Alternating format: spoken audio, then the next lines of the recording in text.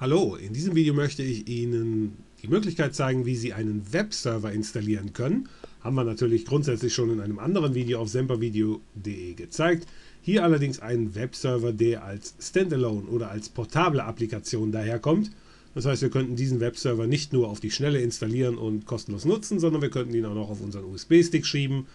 Zum Beispiel, um dann die Möglichkeit zu haben, wenn die Hardware ab wenn die Hardware ausfällt, einfach den Stick abziehen, einen anderen Windows-Rechner in diesem Fall starten, Stick einstecken, starten und schon ist unser Webserver wieder online. Wir starten unseren Firefox und surfen zu http www.aprelium.com aprelium.com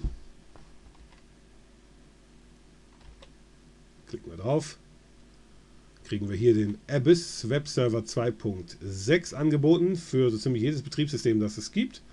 Auf jeden Fall für Windows, Macintosh und auch für Linux. So, ich klicke mal auf die Windows-Fahne. Da haben wir hier zwei Möglichkeiten. Einmal die Version X1 und X2. Die Version X2 hat noch einige Features mehr, kostet allerdings 60 Euro. Ist jetzt meiner Meinung nach auch nicht wirklich viel. Allerdings für die von mir gerade skizzierten Zwecke funktioniert die Version X1 ebenfalls.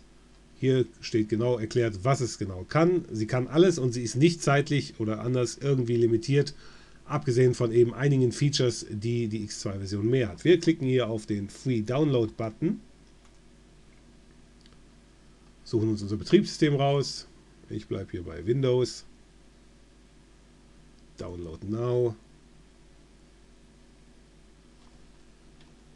Speichern. Öffnen. Einfach durchklicken die Installation.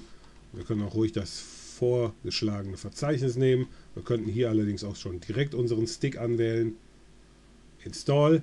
So, nach der erfolgreichen Installation werden wir gefragt, ob wir den Server denn direkt starten wollen. Klicke ich jetzt mal Ja drauf. So, Konfigurationsdatei wurde erstellt. Jetzt zuerst die Sprache anwählen, Englisch und Französisch. In der Mitte, das kann ich nicht lesen. Gut, Französisch kann ich auch nicht verstehen, aber Englisch. Also ein Passwort bzw. den ersten Benutzer erstellen. Dann nenne ich einfach mal Semper Video. Okay. So, und schon läuft der Rechner bzw. der Server auf dem Port 80. Passwort kann sich der Firefox jetzt hier mal merken. Wenn Sie diesen Webserver zum ersten Mal installieren, und ich habe ihn hier gerade zum zweiten Mal installiert, beim ersten Mal werden Sie zusätzlich noch gefragt, ob dieser Webserver grundsätzlich künftig ins, gestartet werden soll, wenn Sie sich einloggen oder als Service oder eben gar nicht. Und das ist noch eine relativ wichtige Einstellung. Die können Sie natürlich nachher immer noch verändern. Allerdings, wenn Sie sagen, nein, nein, ich will den hier schon für den Produktivbetrieb benutzen, dann natürlich angeben, dass der als Service immer mit gestartet werden soll. Ansonsten können Sie natürlich sagen, nein, ich brauche ihn nur ab und zu mal zum Beispiel, damit jemand im Netzwerk oder von außen mal gerade eine Datei von meinem Rechner aus runterladen kann. Dann allerdings starte ich den Server von Hand und wenn derjenige mit seinem Download fertig ist, schalte ich ihn dann auch wieder von, von Hand aus. Dann brauchen Sie diese Option natürlich entsprechend nicht zu setzen. So, ansonsten funktioniert er natürlich jetzt schon. Wenn Sie ein anderes Video auf sempervideo.de gesehen haben, werden Sie wissen, dass die Einga einfache Eingabe von Localhost normalerweise in einem Fehler endet, weil eben normalerweise auf Port 80 von meinem Rechner niemand lauscht. Jetzt allerdings lauscht hier unser neu erstellter Abyss Web Server. Insofern muss ich jetzt hier irgendeine Art von Antwort bekommen. Klicken wir mal drauf und schon haben wir hier Index Off Jetzt brauchen wir uns nur noch das entsprechende Dateiverzeichnis zu suchen. Das sollte ja hier irgendwo im Webserver liegen. Hier ist es htdocs. Hier ist nichts drin. Dann werde ich mal auf die Schnelle was reinkopieren, umbenennen. Index.html, das ist normalerweise immer die Datei, die zuerst angezeigt wird, wenn sie in einem Verzeichnis gefunden wird. Jetzt muss ich mal gerade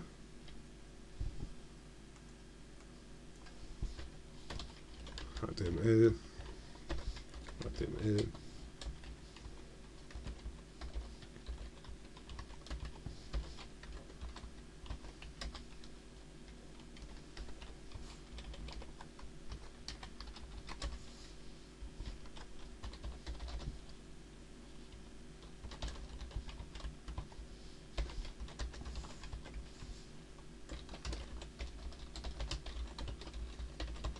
So, das sollte schon reichen. Reload und hier sempervideo.de. Funktioniert also ganz wunderbar. Gut, die Konfiguration ist natürlich jetzt nicht so einfach wie die Installation. Dadurch, dass dieser Webserver natürlich eine Menge Features hat, muss man sich auch erstmal durch die Konfiguration kämpfen. Wir haben ja einen Hilfe und Support. Ansonsten hilft einem die mitgelieferte Texthilfe. Einfach mal auf den Konfigurationsbutton klicken. Da sehen wir schon eine Menge Features, die es gibt. Wir können Benutzergruppen einstellen, Zugriffskontrolle, URL-Rewriting ist auch gut, damit die URLs nicht so kryptisch daherkommen. Dann Bandbreitenbegrenzung, IP Access Control, Anti-Leaching. Ist, sage ich jetzt mal, sehr umfangreich, sehr gut, vor allen Dingen für den Preis eben 0 Euro. Die meisten User, die allerdings nur eine schnelle Möglichkeit haben, sage ich jetzt mal, oder beziehungsweise eine schnelle Möglichkeit brauchen, ein paar Dateien jemand anderes zur Verfügung zu stellen, die brauchen sich ja gar nicht erst durchzukämpfen. Für die reicht auch die Standardeinstellung. Das sind hier nur die Einstellungen, die wirklich diejenigen brauchen, die das ganze Teil hier wirklich erweitert benutzen wollen. Okay.